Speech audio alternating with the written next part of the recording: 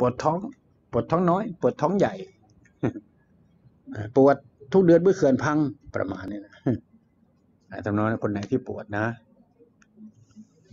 ปวดทุกเดือนเมื่อเขื่อนพังวุ่นวายใจทุกเดือนเมื่อเขื่อนกำลังจะพังว่าไปโน่นเห็นช้างตัวเท่าหนู เห็นหมูตัวเท่ามด ทุกเดือนก่อนเขื่อนจะพังว่าไปโน่นอารมณ์กระจอยไง นั่นแหละ นั่นแหละ หงุดหงิดโวยวาย เดินวนเวียนเหมือนเสือติดจัด ทุบนั่นตีนี่ทำอะไรก็ผิดพลาดไปเรื่อย ผิดพลาดปุ๊บก็โวยที ผิดทีก็โวยที มันหาความนิ่งไม่ได้ ประมาณนั้นนะครับผมก็เลยทำให้วุ่นไปสมอดเลย แล้วก็โทษนั่นโทษนี่ไปต่อนะครับ โวยวายกันต่อประมาณนั้นนะครับ อืม หรือใครจะว่าไงลุงว่างั้นนะเพ่ลุงนี่ยว่าอย่างนั้นนะคุณนะ คุณอาคุณป้าแล้วก็คุณลุงตะแลนตะแลนตะแลนอืม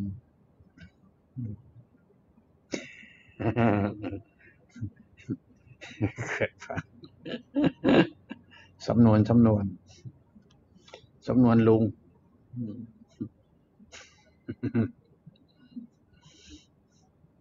สำนวนลุงมันจะมีแปลกๆแล้ว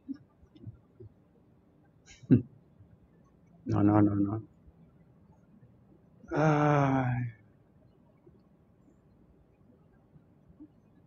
อืม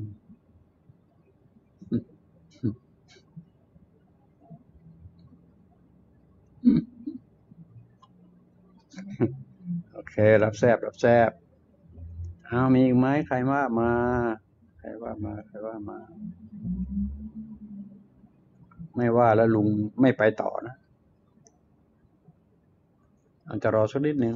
มีใครถามมาสกิดต่อมให้สกิดต่อมความคิดให้น้อย ยกเว้นห้าม ไม่ให้สกิดต่อมลูกหมากไม่เอา ที่หมอว่า ต่อมลูกหมากที่หมอว่าไม่เอาไม่ให้สกิด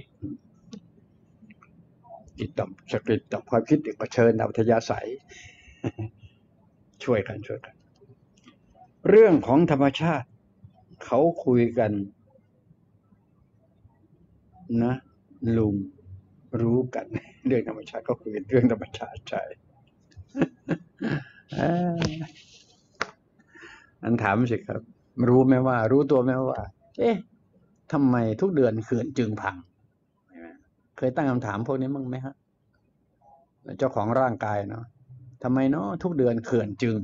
พัง ถ้าถ้าลุงเป็นเจ้าของร่างกายลุงตอบได้หมดแน่นอนเรื่องนี้นะ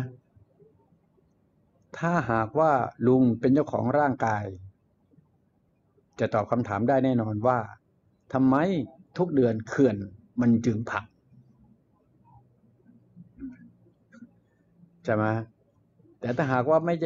ถ้าลุงไม่ได้เป็นเจ้าของเจ้าของร่างกาย จะสอทอรอสักหน่อยได้ไหมนะขออนุญาตเล่าให้ฟังเท่านั้นเออ มันพังเพราะอะไร